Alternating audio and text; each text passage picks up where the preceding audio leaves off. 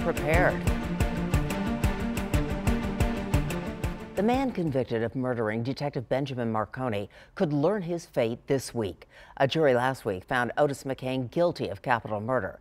Now they'll decide whether he gets death or life in prison.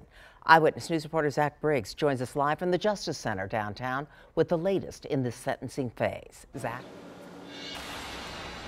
Well, more law enforcement taking the stand today. Text messages from Otis McKane's phone revealing the defendant's dealings with narcotics, including various forms of cocaine and marijuana. Now, Det Detective Sergeant Kyle Williamson brought to the stand today. He read through several text threads, these conversations taking place months before McKane shot and killed Detective Benjamin Marconi outside public safety headquarters.